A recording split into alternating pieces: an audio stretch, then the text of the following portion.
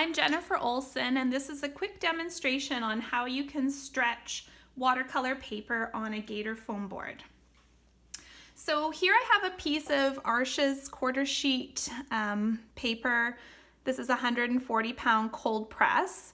It's been soaking in a tub of water, um, cool to lukewarm water for about 10 to 15 minutes. So it's quite pliable. When I first pull it out of the water, it's dripping wet. So here I have two sheets of blotting paper and I'm just going to lay my watercolor paper between, press down, and that will remove excess water.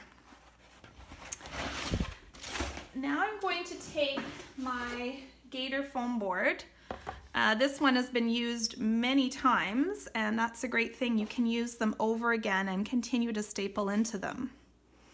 And I'm just going to position my paper on my Gator foam board.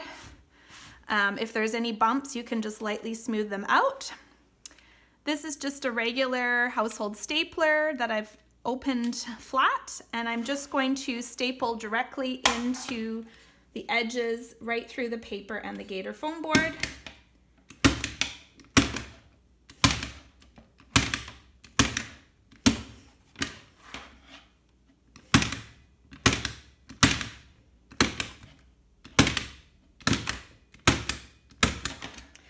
Um, I'm gonna go all the way around the outer edge. You can see a couple staples are not quite in. You wanna make sure they're well pressed into the Gator foam. Sometimes you even need to pull one up and redo it. I put my staples quite close together, about a finger width apart, so that the paper is really well adhered.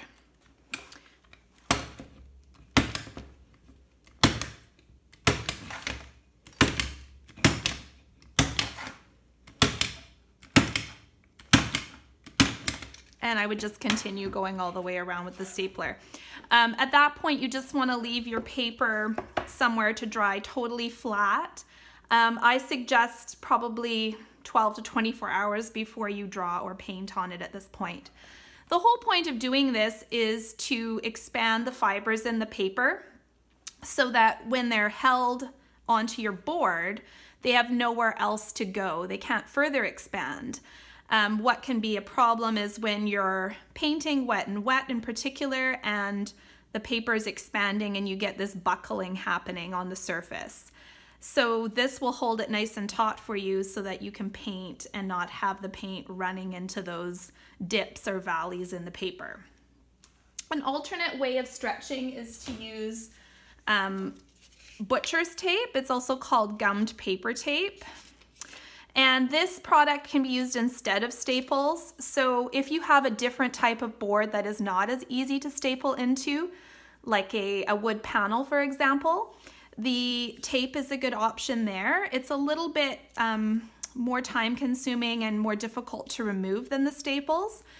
If you are going to use the tape, you would have pre-cut your strips to the length of your board You'd probably need a little more overlap than what I've got here as well. So the paper would need to be um, probably about half to three quarters of an inch smaller than the board you're mounting it on.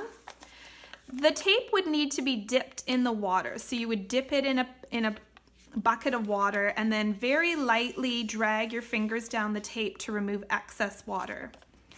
At that point, you would lay the tape down on the surface and press quite firmly using um, some paper towel to blot the excess water up and the tape would go all the way around with a strip. Again, you would just leave it to dry totally flat. Um, with the staple method, when your painting is totally complete and you're ready to remove it, you can actually just lightly pull up on the corner of the paper and the whole um, thing should lift up with the staples included. You can then just pick them out or sometimes I'll even just cut that strip of staples off if I want to have a quick option. Um, if you did use the butcher's tape around the outer edge, the best way to remove it is to actually use an X-Acto blade and, and cut right on the seam where the board and the paper are meeting. So you would cut right through there all the way around and take your paper off. The portion of the tape that is attached to your watercolor paper should stay on or that could be trimmed off at the end. I wouldn't try to remove it by adding water um, because it will just buckle your paper. The whole point was to keep it nice and flat. The portion on the um, Gator foam board or your wood board can be removed just by wetting a sponge. You can um, add water onto the, the dried tape and it will moisten it so that you can peel it up again. So that is my method for stretching paper and I hope it's helpful for you to keep your project nice and flat while you're working on it.